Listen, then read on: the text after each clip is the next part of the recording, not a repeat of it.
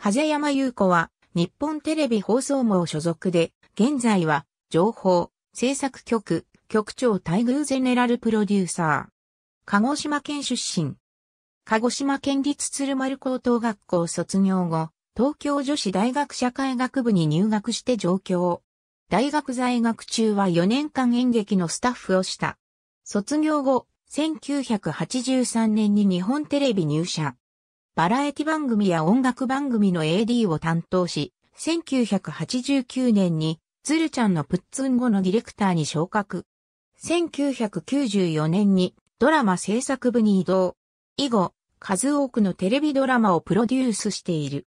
近代一少年の事件簿のプロデュースを皮切りに、堤幸彦とのタッグで、ドキュードラマを日テレの看板枠に押し上げた。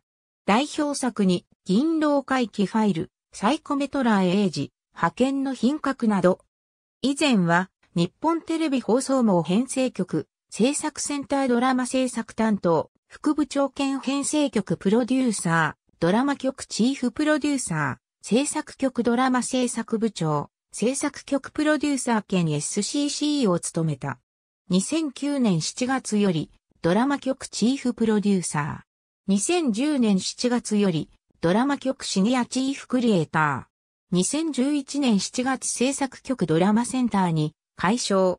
2015年6月制作局専門局次長兼務。2017年6月制作局専門局長兼ドラマ担当統括プロデューサー。2018年6月より、局長待遇、ストックコンテンツセンターゼネラルプロデューサー、2019年5月31日をもって、ストックコンテンツセンターが廃止になった。プロデューサーチーフプロデューサーシニアチーフクリエイター、プロデューサーエグゼクティブプロデューサー。ありがとうございます。